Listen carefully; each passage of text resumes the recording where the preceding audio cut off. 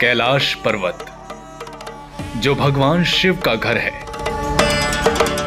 हज़ारों लाखों सनातनी इसके दर्शन करने के लिए कई दिनों की लंबी यात्रा तय करते हैं और पहुँचते हैं कैलाश मानसरोवर, जहाँ से दर्शन होते हैं भव्य कैलाश पर्वत के। लेकिन इसमें एक बड़ा बाधक है चीन का रवैया। अब तक कैलाश पर्वत के दर्शन के लिए तिब्बत से होते हुए जाना होता था, जिस पर चीन ने अवैध रूप से अतिक्रमण किया हुआ है। लेकिन अब सनातनियों को उस दुर्गम मार्ग से नहीं जाना पड़ेगा, क्योंकि अब भारतीय उत्तराखंड से ही कैलाश दर्शन का लाभ उठा पाएँगे। दरअसल उत्तराखंड में एक जगह है लिपुलेख दर्रा, जहाँ से भगवान शिव का घर कैलाश पर्वत दिखाई देता है, जिसे पिथौरागढ़ के स्थानीय लोगों ने खोजा था। पिछले वर्ष प्रधानमंत्री मोदी जी ने भी यहाँ पहुंचकर कैलाश पर्वत के दिव्य दर्शन किए थे और अब सरकार इसके लिए मार्ग को सुगम बनाने का कार्य कर रही है। आइए अब आपको बताते हैं कि कैलाश पर्वत का महत्व क्या है। कैलाश पर्वत सनातनियों के लिए अत्यंत महत्वपूर्ण और पवित्र स्थान है, क्योंकि यहीं पर भगवान शिव का घर है। भगवान शिव माता पार्वती के साथ यहीं पर निवास करते हैं। कैलाश पर्वत की ऊंचाई लगभग 6,714 मीटर है। इसे धरती का केंद्र बिंदु भी माना जाता है। प्राचीन काल से लेकर आज तक कई लोगों ने कैलाश पर्वत पर चढ़ने की कोशिश की है लेकिन आज तक कोई भी सफल नहीं हो पाया है। माना जाता है कि 11वीं सदी में एक तिब्बती बौद्ध योगी मिला रेपा ही कैलाश पर्वत की चढ़ाई करने में सफल हुए थे। मान्यता यह भी है कि कैलाश पर्वत पर समय बहुत तीव्रता से व्यतीत होता है।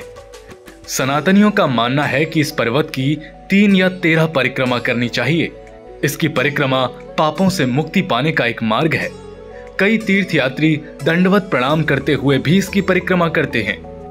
ऐसा कहा जाता है कि जो व्यक्ति कैलाश पर्वत की 108 परिक्रमा पूरी कर लेता है, उसे जन्म और मृत्यु के चक्र से मुक्ति मिल जाती है।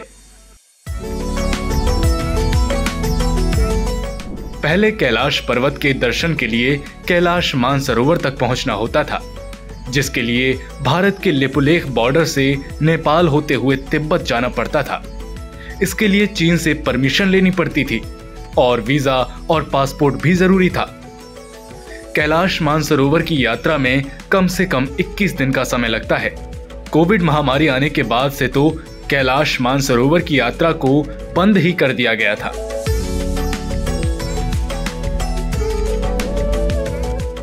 आप जानते हैं कि मानसरोवर झील क्या है। दरअसल कैलाश पर्वत से कई बड़ी नदियाँ, जैसे सिंधु, ब्रह्मपुत्र और सतलुज आदि निकलती हैं। इसके साथ ही कैलाश पर्वत के नीचे दो प्रमुख झीलें भी हैं, जिनके नाम हैं मानसरोवर झील और राक्षस झील। मानसरोवर झील विश्व की सबसे ऊंचाई पर स्थित झीलों में से एक है। ऐसी मान्यता है कि इस झील में स्नान करने से सारे पाप धुल जाते हैं। सर्दियों में ये झील पूरी तरह से जम जाती है और गर्मियों में जब ये पिघलती है तो इसमें से मंत्र मुग्ध कर देने वाली मृदंग की आवाज़ निकलती है।